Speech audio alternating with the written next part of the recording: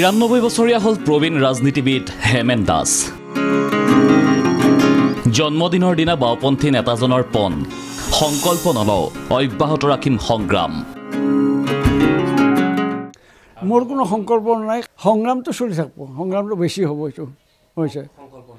সংকল্প মই এনে বিশেষভাৱে নলওঁ।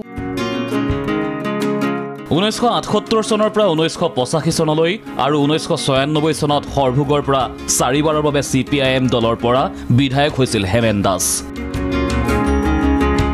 এই দীঘলীয়া সময়ছোৱাত অসমত বহুবাৰ সলনি হৈছে ৰাজনৈতিক পথ।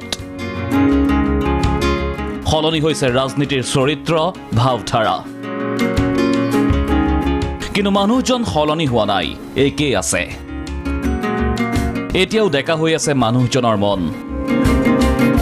সংখ্যাতহে বয়স হৈছে। মই এতিয়াও ডেকা। সভা সমিতি কৰি আছো কৰি আছো লেখা মেলা।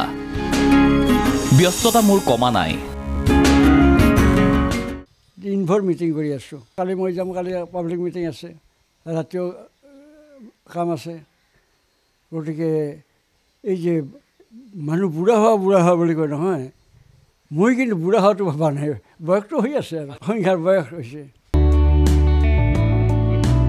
বিৰান্নব্বৈ বছৰ বয়সতো মানুহজন গৰজি উঠে ধনতন্ত্ৰৰ বিৰুদ্ধে। সমাজতন্ত্ৰৰ সপক্ষে। মানুহজন একেই আছে। ভয়াৱহ নিবনুৱা সমস্যা ভয়াৱহ মূল্যবৃদ্ধি সমস্যা। এই সমস্যাবিলাক হৈছে ধনতন্ত্ৰবাদৰ সমস্যা।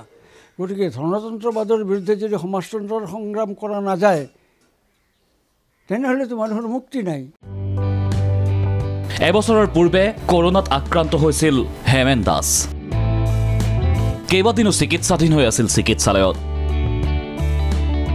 অতিমাৰীক হেলা ৰঙে পৰাজিত কৰি মানুহজন বিৰান্নব্বৈ বছৰ বয়সতো একেই আছে দুৰন্ত তৰুণ হৈ। মানুহজন একেদৰেই থাকক শতায়ু গৰকক।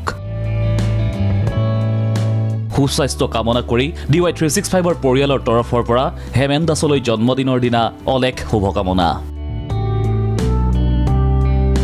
Bureau' report D Y three six five